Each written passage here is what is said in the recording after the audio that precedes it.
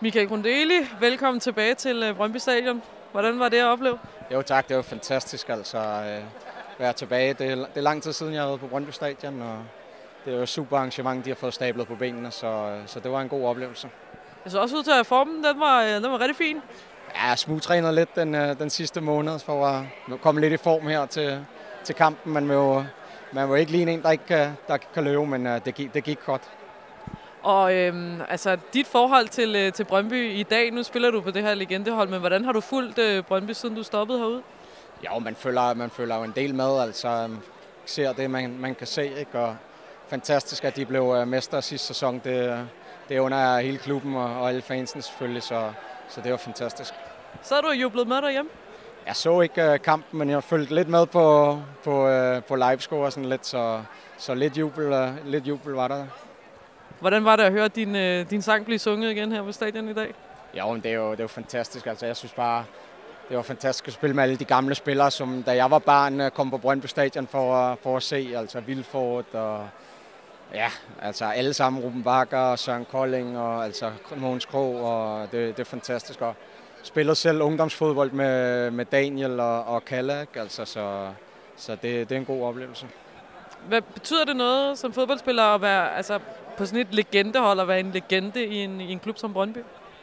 Ja, det, altså nu, nu ser man ikke øh, på sig selv sådan, eller jeg gør i hvert fald ikke. Altså for mig så har jeg spillet med andre legender i dag, kan man sige. Ikke? Så, men altså, det, det er da super dejligt at, at være med og, og, og kan give, øh, forhåbentlig give en god oplevelse til alle, alle fansene også.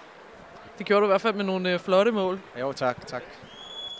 Johan, hvordan var det at være tilbage på, øh, på Brøndby Stadion i dag? Ja, det var dejligt. Det var riktigt flott at være tilbage med tidskoene og, og se mine gamle holdkammerater. Så nej, det var, det var sjovt.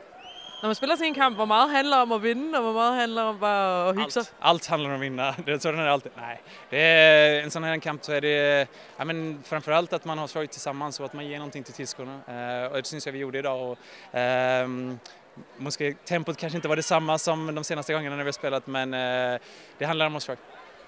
Åh, du leverede selv lidt uh, lige til tilskuerne. Det mål der, det var da meget godt. Ja, men jeg, Karim, jeg vet godt, at han er en lille mand, så hvis du bare chipper på, så, så bliver det mål. Uh, nej, men uh, det var, det var, det var fuldt.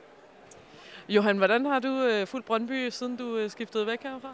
Uh, mestadels har jeg sett noen kamp på fjernsyn. Uh, jeg har kanalen derhjemme, men uh, mestadels har det vært i aviser eller at man tabellen och sånt där. Så att, eh, och någon gång jag, jag snackade med, med Agger och Kallenberg också. Eh, jag har varit nere och sett på någon kamp också, men eh, inte detsamma som när man spelar. Hvordan var det for dig at se Brøndby blive mestre for første gang, siden du selv var med her for 16 år siden? Mm, ja, fantastiskt, verkligen.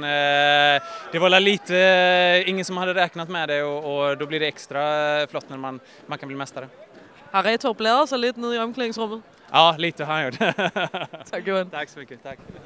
Da I fik den her idé, øh, så er der gået ret lang tid til, til det endelig var tid til at stå her. Hvordan var det så?